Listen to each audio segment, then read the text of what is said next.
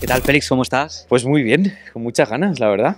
Por fin vemos el plató. Qué bonito es. Sí, no, es muy chulo, la verdad es que, jo, eh, no antes decías, ¿no? Que parece una- un antiguo estudio de Hollywood, ¿no? Es verdad que cuando vas paseando por todo el plató eh, han hecho un trabajazo los compañeros.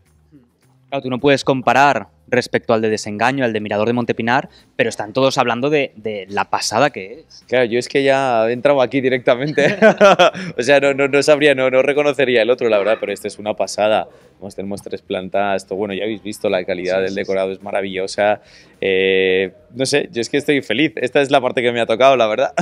Cuéntanos un poquito cómo es tu casa y con quién vas a tener así tramas más allá de Amador. No habéis conocido mi casa, mi casa os va a encantar. Mi casa re- representa muy guay. Una de las cosas muy chulas cuando vas paseando por todos los, por todos los pisos es que los pisos representan muy bien eh, a los personajes. ¿no? Mi personaje, Oscar, es un fotógrafo de éxito, soltero de oro, eh, disfrutón, buen trabajo, eh, ligoncete, fiestero. Vive frente a Amador y, y frente a Agustín y un poco representa todo lo que Amador hubiera querido ser y no ha conseguido, ¿no? Y mi, fijo, mi, mi piso refleja eso. Es un piso, pues el típico loft, el típico tío joven, eh, una máquina de arcade, mesa de billar, mueble bar, eh, proyector, diana para estar jugando, o sea, un piso hecho por y para el placer.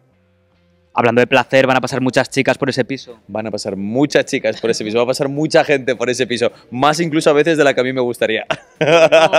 Y me imagino a Amador con la mirilla muriéndose de envidia. Amador con la mirilla y en un momento dado, que es el gran fallo que va a cometer mi personaje, es entregarle una copia de las llaves. Eso... Mal, mal. Pero ya lo, lo, lo sé tarde.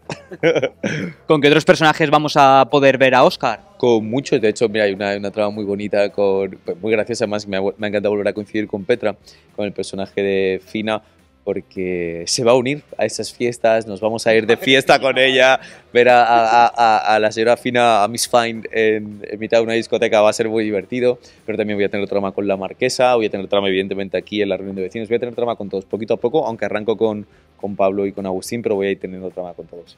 ¿Cómo van a ser estas juntas aquí? Porque yo creo que es algo de lo más mítico de Aquí no hay quien viva, esas juntas de vecinos que creo que se va a recuperar un poquito esa esencia. es que son muy locas. O sea, de hecho, quiero decir, no sé, en un día normal podemos rodar seis secuencias eh, de, de- de- de- digo, de casas cuando rodamos las, la- es una o dos como mucho, o sea, porque es imposible, es, es muy gracioso rodar. Y de hecho yo tenía bastante miedo a esas secuencias porque es que tienen un ritmo y una locura, pero son muy divertidas. Y es verdad que recuperan el, el yo creo que es el corazón de, de- de esta serie, ¿no? El vernos ahí porque se reflejan muy bien los personajes. Dices que tenías miedo a estas escenas.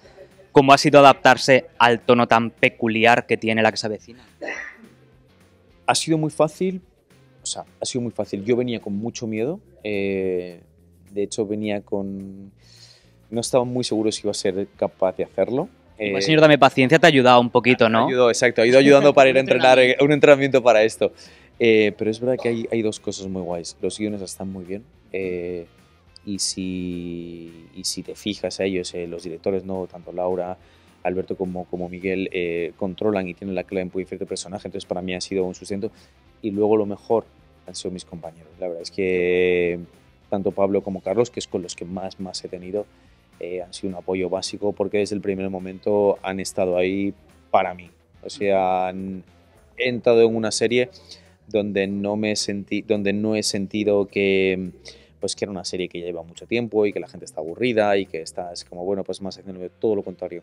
Una serie llena de ilusión con muchas ganas de currar y con dos compañeros que estaban mm, súper a favor y eso a mí me lo ha puesto súper fácil porque bueno quitando los nervios del primer momento a las horas ya estaba lanzado en la locura de esta gente Eres un loco más. ya soy un loco más.